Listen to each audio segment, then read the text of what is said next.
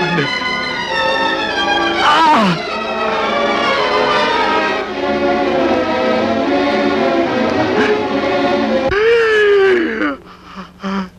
Ba- ba- Baba, sen öleli çok oldu. Ha? Ahlaksız!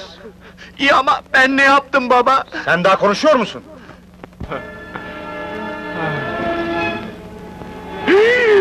Anneciğim!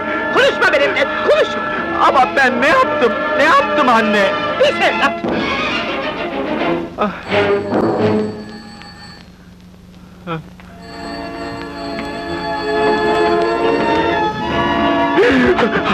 Ay, anne, baba, anne!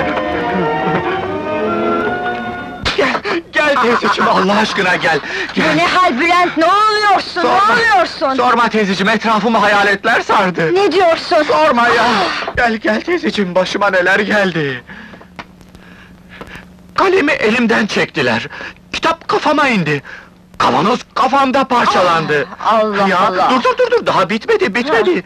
Şurada babamın ruhunu görüverdim! Babam annem oluverdi sonra! Ya! Ya, babam bana ahlaksız dedi, annem pis dedi! Sonra... Ne diyorsun? Sonra ikisi birden kaybolup gitti! Hmm, şimdi tamam. Dinle beni Bülent oğlum, meseleyi anladım. Bu işin bir tek çaresi var. Ancak bu çare seni sıkıntılardan kurtarır. Söyle teyzeciğim, Allah aşkına söyle, beni bu dertten kurtar! Bak şu etrafa, bu ne pislik, insan silip süpürür.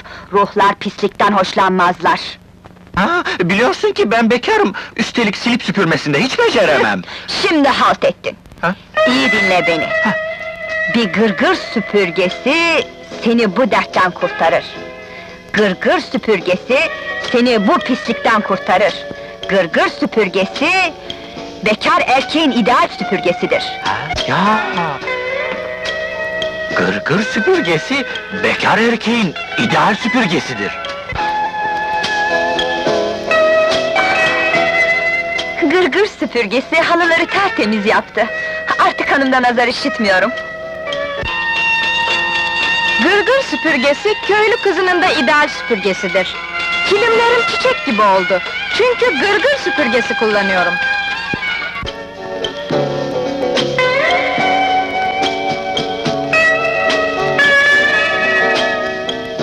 Ben de bütün dertlerimden kurtuldum. Gırgır süpürgesi beni pislikten kurtardı. Bak! Evim tertemiz oldu.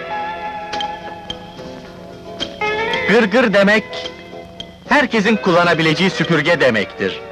Gırgır, gırgır, gırgır, gırgır. Ya, ne haber?